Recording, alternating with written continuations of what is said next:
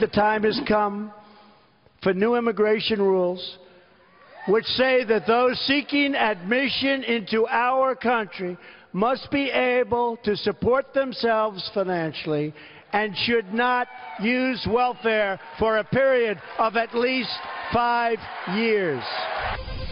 Well, that was the president, Mr. Trump, in Iowa last night. No welfare for immigrants for five years after they come here. You can't have any welfare unless you've been here for five years. Congressman Louie Gohmert, Republican from Texas, member of the Freedom Caucus, is with us now. You're in a border state. Now, the president just slipped that one in last night. No welfare unless you've been here for five years. What do you think? I think it's fantastic. And actually, uh, Steve King and I were visiting, went over to talk to the British folks on their benefits and their equivalent of Social Security had that in law for a number of years. You could not be in England and draw Social mm-hmm. Security unless you had been paying into it, not just been there, but paying mm-hmm. into it for five years. So I, that's one of the great things about the president. He's been in business he hears good ideas. He knows them when he hears them, and boy, does he jump on that. I think it's fantastic. It, it's something we should have done years ago, Stuart. Okay. Now, we are expecting the details on the Senate health care plan later on today. My question, Louie, is, will, you, I, I, know, I can hear you laughing, because yeah. you know what's coming. Yeah. Will conservatives compromise and pass it or are you going to stand on principle? Look, here's what I say, and I, you know what I'm going to say. Stuart, we already showed what we would do. We compromised to get to the bill we did before. It wasn't a fantastic bill, but it was a compromise bill that we could get passed. well, will we your Senate that. colleagues do the same? Uh, I have a feeling that when the president gets involved, he's going to be able to help some of the senators get to that conclusion as well.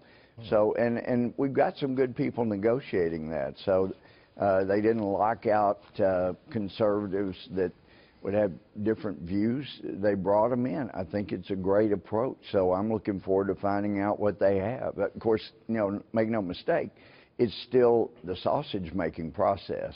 But yeah. I think it's a good idea. I, am looking forward to seeing what they got. But I would still say, and I hope you would say too, that it's better to get something done than nothing yeah. at all. Because well, if listen, you get Stuart, nothing done at all, we're left yeah, holding the bag. That's, that's not uh, an option. There are too many people all over my district and the country that cannot afford the premiums they're paying in order to get nothing, get five, six, ten thousand dollar deductible, which means they'll never get a dime out of it because they don't have the deductible.